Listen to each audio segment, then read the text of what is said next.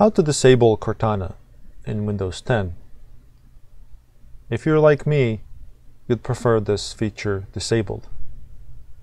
On your left hand side, select the Start button. Select inside the search box. On the left hand side, you will see Settings button. It will look like a cog go ahead and select it. Here, the first option will let us toggle Cortana on and off. Right now, she's turned on. If you select it, it will turn her off. While you're at it, you can go ahead and disable other features like use Cortana even when my device is locked. Taskbar tidbits scroll down.